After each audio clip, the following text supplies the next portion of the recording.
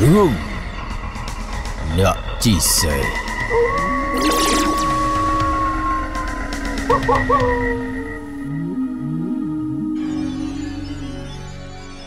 នៅយប់មួយ មានបរិះវ័យក្មេងម្នាក់ជិះលើខ្នងសេះពេលនេះគាត់ក៏បានធុញទ្រាន់នឹងការជិះសេះរបស់គាត់ស្របពេលដែលឃ្លានផងនោះ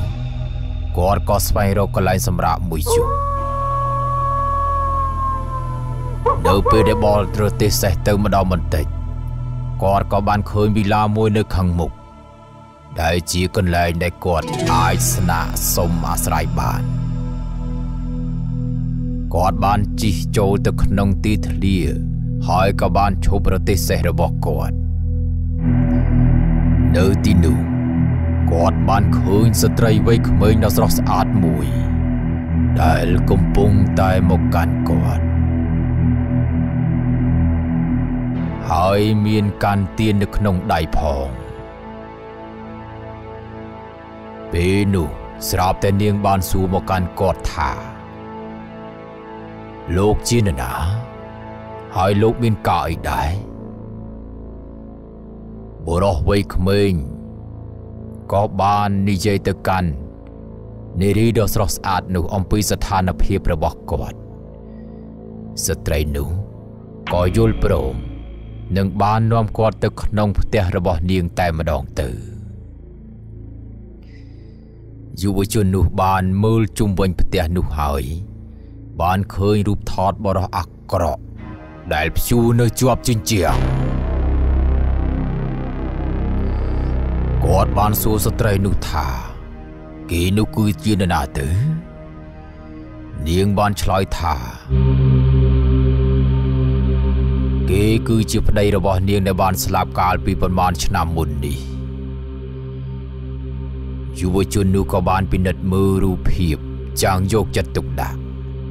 នៅពេលដែលគាត់ងាកក្រោយគាត់ភ័យជាខ្លាំងនៅពេលដែលឃើញបរោះនោះឈរនៅទីនោះ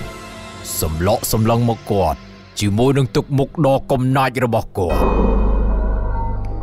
បរោះជាប្តីនោះបានស្រែកទៅកាន់បរោះវ័យក្មេង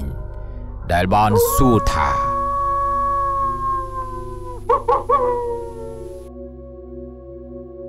តើគាត់កំពុងធ្វើអីនៅក្នុងទីនេះ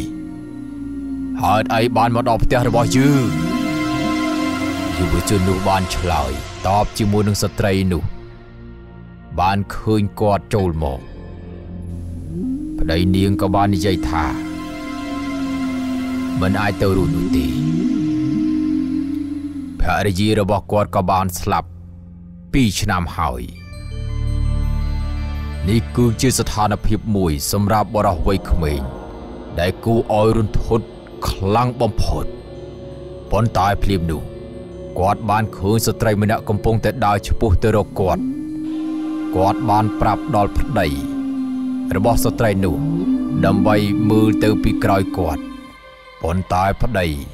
បាននិយាយថាគាត់មើលមិនឃើញនាងសោះ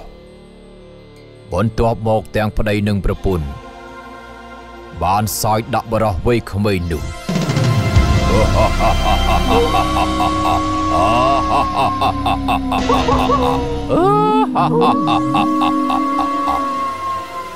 ពួកគេបានពន្យល់ថា វាទាំងអស់គ្រាន់តែជាការលេងសើច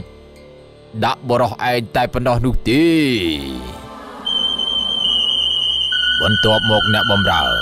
ចូលមកក្នុងបន្ទប់គាត់បានប្រាប់ស្វាមីនិងភរិយាថា មានសាកសពនៅខាងក្រៅក្នុងទីធ្លា ស្វាមីនិងភរិយានោះបានប្រញាប់ចេញពីផ្ទះវិឡានិងភ័យរន្ធត់យ៉ាងខ្លាំងក្នុងការអញ្ជើញសាកសពបរោះវ័យក្មេងដែលបានដេកស្លាប់នៅលើខ្នងសេះនោះ តាមការពិតទៅបរោះនោះក៏បានស្លាប់នៅលើខ្នងសេះដោយការស្រេកឃ្លានអាហារដោយសារតែគាត់ធ្វើដំណើរឆ្ងាយពេក